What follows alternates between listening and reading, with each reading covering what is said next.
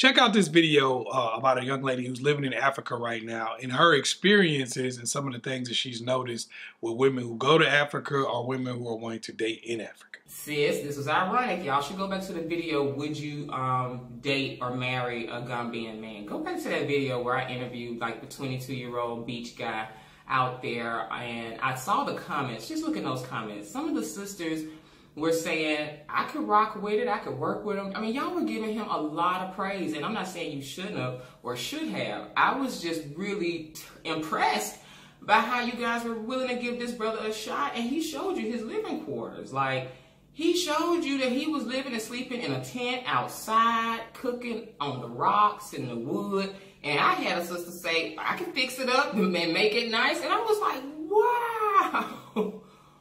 But let that have been a brother in the States.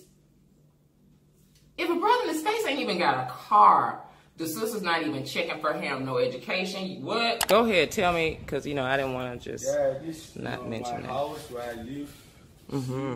Mm-hmm. This where you bring the ladies? this where you bring your girlfriend? Yeah, maybe girlfriend, yes. Okay, ladies, he telling y'all where y'all gonna be hanging out. African house. African house. Yeah. So you take a lady back here on a date?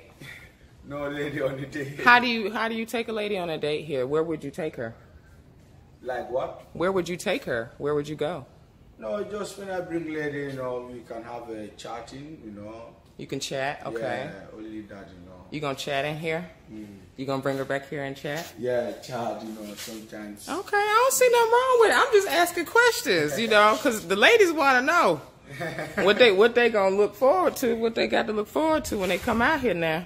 You know, Now this is where y'all gonna be hanging out and stuff, honey. He gonna cook you some fish over there. yeah. You see how? Where you normally cook, you know. Okay. Yeah. And this are flowers. He said he got flowers for you. Flowers for you. I'm going to push back a little bit here. I think we often mix up the comment section of videos and uh, social media with reality. The reality of it is a good looking dude in America with absolutely no money is going to be able to get a lot of the same women as that guy from Gambia.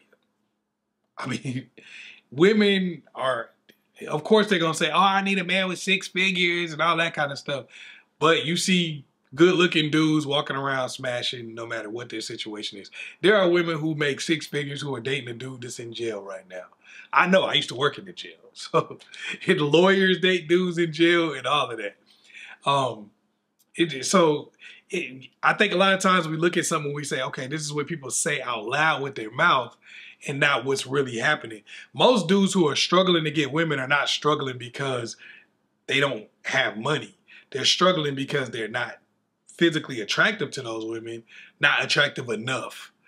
Or they also may not have any game or have the ability to talk to women in a way that makes them want to do something that's not necessarily in their financial best interest. So if you're dealing with a woman, and women, you know this, if we're just being real, and, and, I, and I'm saying this, I'm saying this in the defense of these women. A woman is gonna make it, when she talks about an abstract man that doesn't really exist or somebody that she would date, she's just gonna name all the good things in life, and that's gonna be like her baseline. Yo, if he don't have this, this, this, and this, I wouldn't date him. But in reality, if a woman meets somebody and that person makes them have an emotional connection, the emotional connection is always going to override the mental standards or the intellectual um, the, the intellectual parameters that they have for a relationship. Period. A woman is always going to choose, and, and a man will too. If you like somebody enough, the things that you got, the little rules you don't put out there, you're going to break 99% of them for somebody you like. Yeah, you could get in the comment section and say you won't, but that person's not in front of you right now. It's easy to say that when the person's not in front of you. So yeah, they in the comment section, oh girl, I could work with him and all that kind of stuff. They might get over there to Africa and feel differently. You know, when when they're actually in person with them. A lot of these women that's out here talking about, I wouldn't date somebody who didn't make this and didn't make that. They're saying that because they have done that multiple times in the past and they will do it again. So, you know, I understand that it's easy to look at what they're saying in the comment section say, oh, y'all won't date no broke man here. And you hear a lot of guys complaining online. No, all women care about is money. Well, normally they're just not physically attracted to you. That's why they care about money because they, they're using that in lieu of what they really wanted. Or you don't really have like the swag in the game to make them feel that bubbles in their stomach and all that kind of stuff, the butterflies. You're not giving them that. So instead of that, they want financial security. But in real life, people don't choose based on those type of things. They choose based on whatever their heart and their emotions tell them. And these women just got online and said what they want to say. But the reality is they'll do the same thing here in America.